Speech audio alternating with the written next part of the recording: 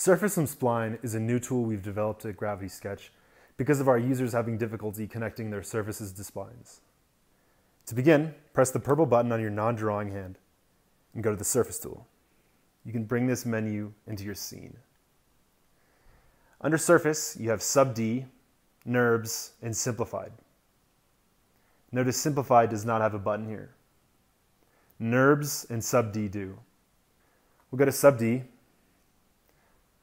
We'll trigger select the tool, hover both our hands over the spline, and press the dominant trigger to start and create vertices along the geometry.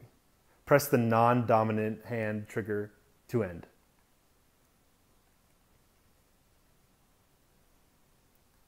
Regarding this chair, let's turn on the mirror. We'll move this aside.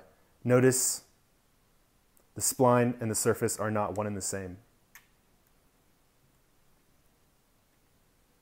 So, with the same procedure, I'll hover over, press my dominant trigger to start and my non-dominant trigger to end.